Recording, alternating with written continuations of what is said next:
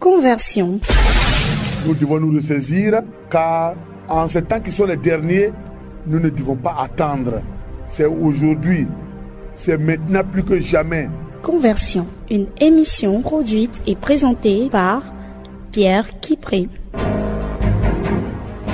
Conversion. Conversion.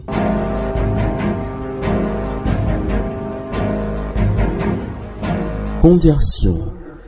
Frères et sœurs, je vous supplie d'abord, avant d'écrire, de m'écouter pour que vous puissiez mieux saisir le sens de la réparation.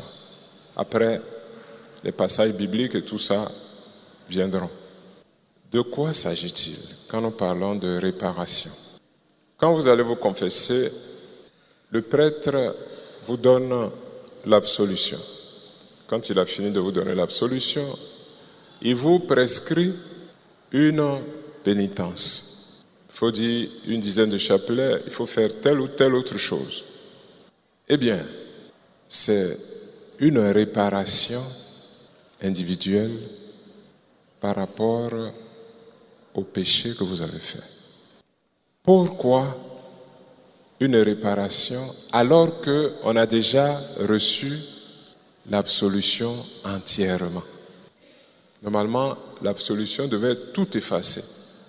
Mais vous remarquez qu'on demande encore de faire quelque chose. Ça veut dire que l'absolution est différente de la pénitence qu'on vous demande de faire. Maintenant, je vais vous aider à comprendre D'où vient l'absolution? Depuis le péché d'Adam et d'Ève, tout le monde est devenu pécheur. C'est pas moi qui le dis, hein, c'est Romains chapitre 5, verset 12 et suivant. Paul dit, par un seul homme, le péché est venu dans le monde et nous sommes tous pécheurs. Et ça vous rencontrerez partout. Et donc, le ciel était fermé. Tant que on ne trouve pas de solution à cette situation. Il fallait trouver quelqu'un pour résoudre le problème. Et comme on ne reste pas dans Magnan, pour enlever Magnan, il faut trouver un homme qui soit sans péché pour, en tout cas, payer la dette de Adam et de Ève et partant de toute l'humanité. Mais nous sommes tous pécheurs parce que vous prenez n'importe qui, chacun a en lui déjà le péché originel d'Adam et Ève. Et dans le psaume 51, David dit, j'étais pécheur dès le sein de ma mère, puisque ce péché-là a pris tout le monde. Donc on ne peut pas trouver un homme à 100% pur qui ne soit pas dans les manias pour enlever les manias aux autres.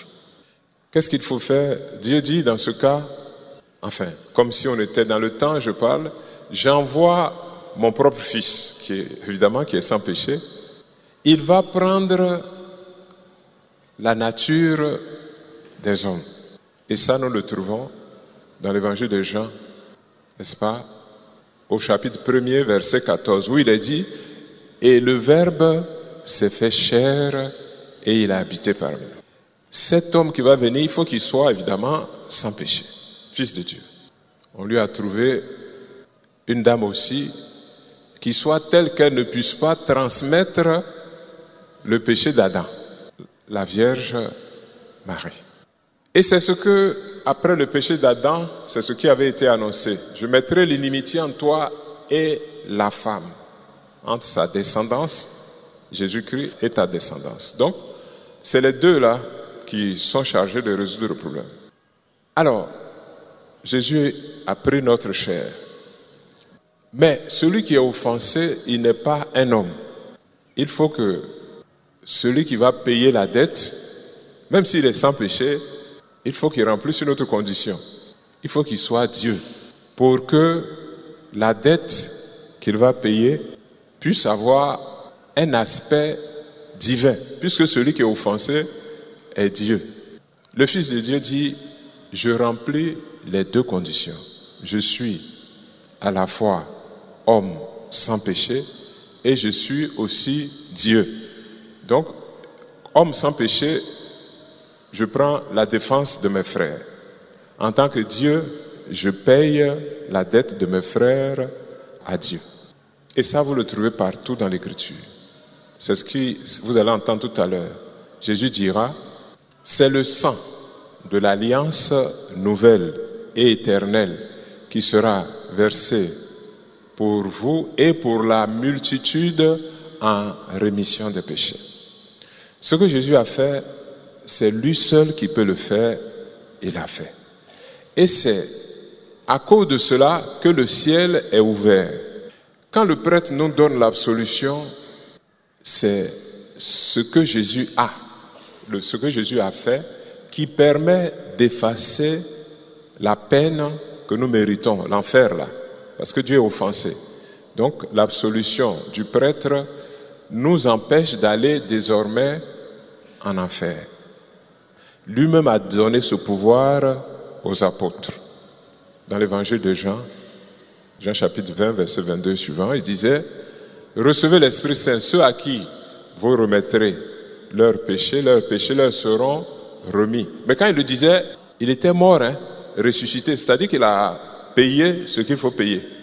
Donc maintenant, il leur donne le pouvoir, eu égard à ce qu'il a payé, de remettre le péché.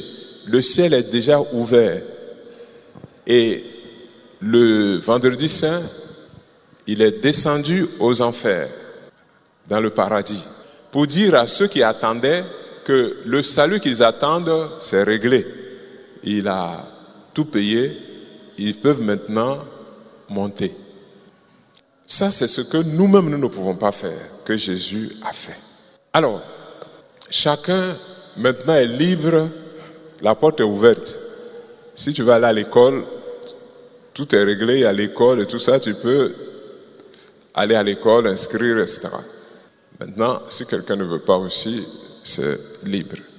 Dans la Bible, on remarque depuis l'Ancien Testament que le pardon de Dieu s'accompagne encore de quelques autres gestes.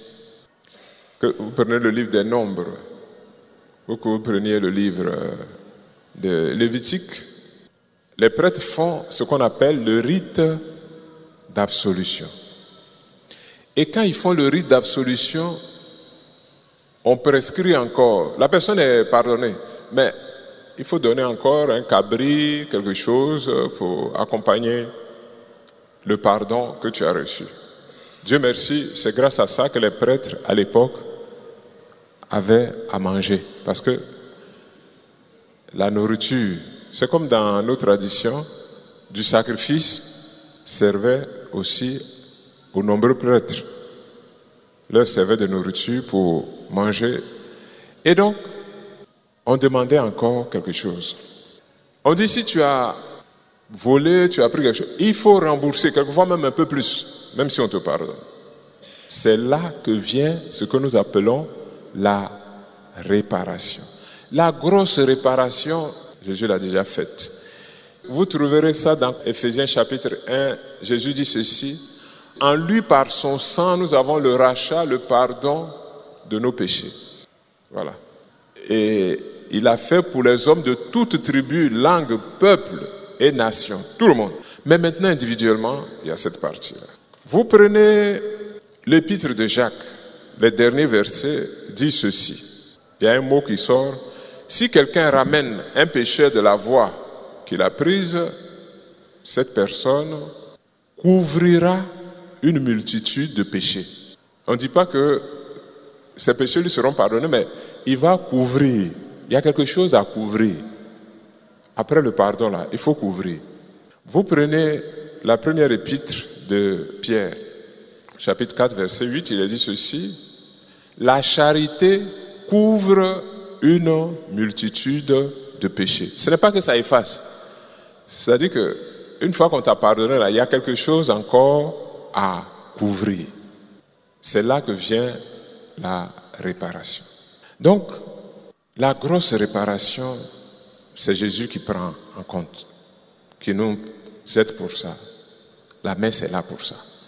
Mais les petites euh, réparations, on peut faire pour soi-même, Dieu merci, comme on peut la faire pour les autres. Vous avez vu que dans l'Ancien Testament, Dieu voulait détruire Sodome et Gomorre. Abraham a plaidé.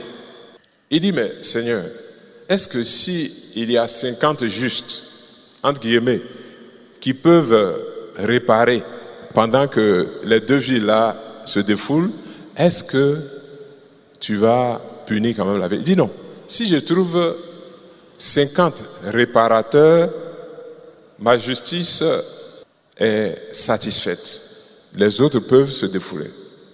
Abraham a marchandé, plaidé, jusqu'à 10. Est-ce que si on a 10 qui sont là, qui sont bons, qui peuvent payer pour euh, tout le reste, est-ce que tu vas quand même détruire? Il dit non. S'il y a 10 qui sont prêts, entre guillemets, à payer, bon, moi, ça me suffit, les autres peuvent continuer. Est-ce que Sodome et Gomorre n'ont pas été détruites? Je vous pose la question. Les deux villes ont été détruites, ça veut dire que on n'a pas trouvé dix personnes justes qui elles-mêmes n'ont pas de grosses dettes, dix personnes pour réparer pour euh, les deux villes. Donc, le Seigneur a détruit Sodome et Gomorre. Dans Exode chapitre 32, Moïse plaide. Les Juifs ne le voient pas, il est tout le temps en prière en montagne et tout ça. Ils ont dit, il dit trop. Donc, ils ont fabriqué le veau d'or. Dieu dit à Moïse, je vais détruire ce peuple et à partir de toi, je vais faire un peuple nouveau. Est-ce que ça te sied? Ça va? Moïse dit, je préfère que moi-même tu me détruises. Qu'est-ce que les gens vont dire? Que tu as fait sortir ce peuple? En tout cas, Moïse seul a plaidé et Dieu a écouté et son intercession a valu que le peuple soit sauvé. Eux-mêmes, ils ne sont même pas au courant qu'il y a quelqu'un qui vient de payer pour eux. Moïse va jeûner 40 jours, 40 nuits, etc. Donc, Sodome, dans 40 jours, Ninive sera détruite. Alors, Jonas, on dit, il a prêché à peine une journée, alors que la vie était extraordinairement grande. Le roi dit, tout le monde, hommes, bêtes et nourrissons, tout le monde, on va jeûner et demander pardon pour nos péchés. Jeûne, prière, conversion. Le texte dit ceci. Voyant comment ils se sont repentis de leur euh, mauvaise conduite, le Seigneur renonça au châtiment dont il les avait menacés. Là, ce n'est plus individuel. Tout le monde s'est mis dans la conversion, la réparation, pénitence, etc. On a enlevé le châtiment. C'était Conversion. Venons à Dieu, mettons Dieu au cœur de nos cités. Conversion. Une émission produite et présentée par Pierre Kipré. Merci, que Dieu vous garde. Conversion. Conversion. Conversion.